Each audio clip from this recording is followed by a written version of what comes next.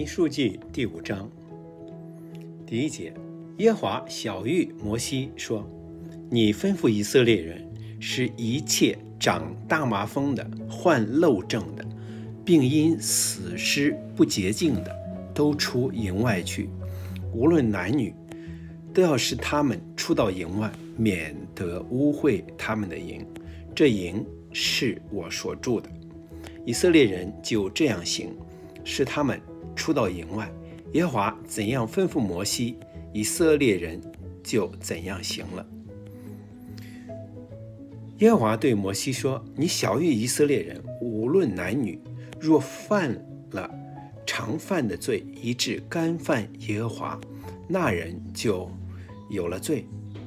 他要承认所犯的罪，将说亏负的人如数偿还。”另外加上五分之一，也归于说亏负的人。那人若没有亲属可受所赔还的，那说赔还的就要归服与服侍耶和华的祭司。至于那为他赎罪的公羊，是在外。以色列人一切的圣物中，说奉给。祭司、局祭都归于祭司。个人所分别为圣的物，无论是什么，都要归给祭司。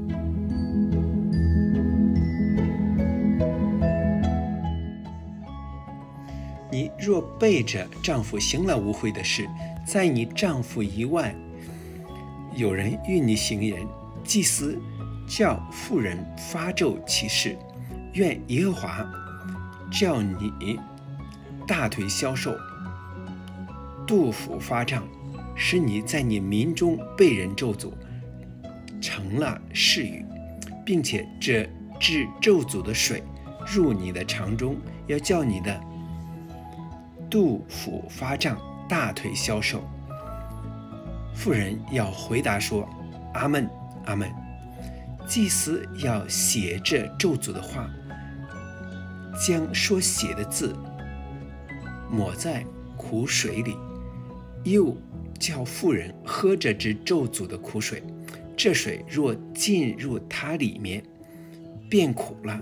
祭司要从妇人的手中取那。遗恨的素祭，在耶和华面前摇一摇，放到坛前，又要从素祭中取一把，作为这事的纪念，烧在坛上，然后叫妇人喝这水，叫她喝了以后，她若被玷污，得罪了丈夫，这治咒诅的水必进入她里面，变苦了，她的肚腹就要发胀，他的大腿就要消瘦，那妇人便要在他民中被人咒诅。若妇人没有被玷污，却是清洁的，就要免受这灾，且要怀孕。妻子背着丈夫行了污秽的事，或是人生了遗恨的心，遗恨他的妻，就有这遗恨的条例。那时他要叫妇人站在耶和华面前，祭司要。在他身上照这条例而行，男人就为无罪，妇人必担当自己的罪孽。